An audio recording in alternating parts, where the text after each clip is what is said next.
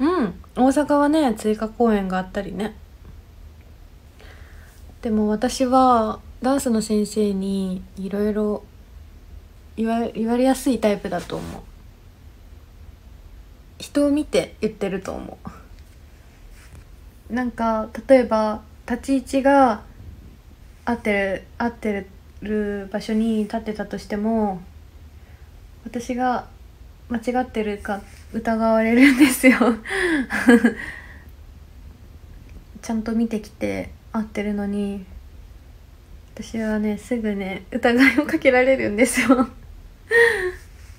なんでかわかんない。多分言いやすいんだと思う。言い方も違うもん全然。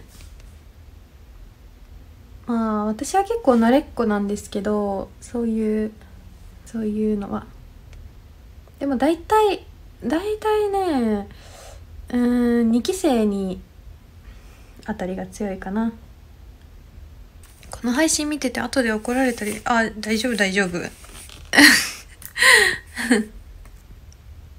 いやメンタル強いわけじゃないよ。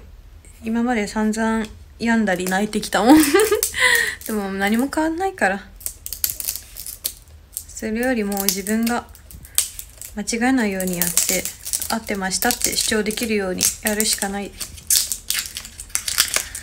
あとどう頑張ってもやっぱり私たちは後から入ってきた後輩っていう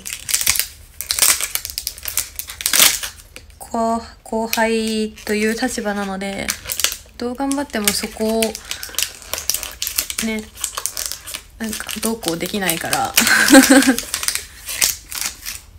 私たちがその一番最初から気づいてきたわけでもないから、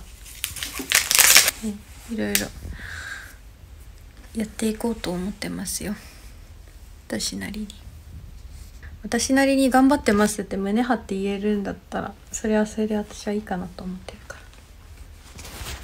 みんなにもねそういう頑張りや壁があったと思うし私だけじゃないと思う。見る人がどう思うが。私が頑張ってたら別にどうでもいいのでね。